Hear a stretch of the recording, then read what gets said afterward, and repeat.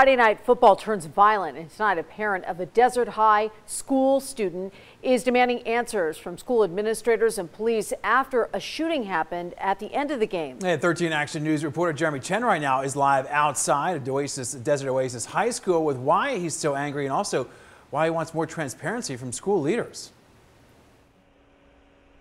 Well, Todd, Tricia, that shooting happened here at this school last week. The father I talked to says he no longer feels comfortable having his kid attend football games here. Now, this isn't just the teenagers. This is total true violence. The next time your kid will get killed.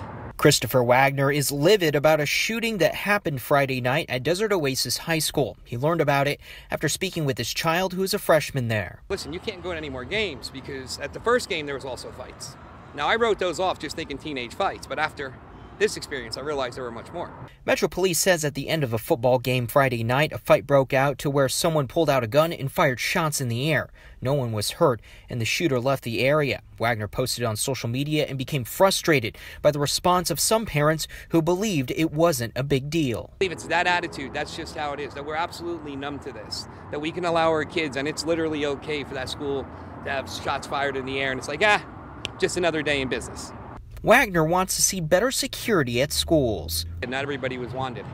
A lot of people got through. Walmart has better security than uh, the football game.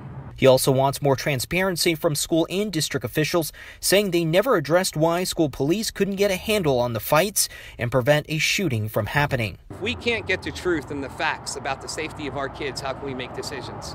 How can you trust them leading that school? Now, in a letter to parents, the principal of the high school says student safety is very important for them and is also telling students not to hesitate to report any sort of safety issue if they see it.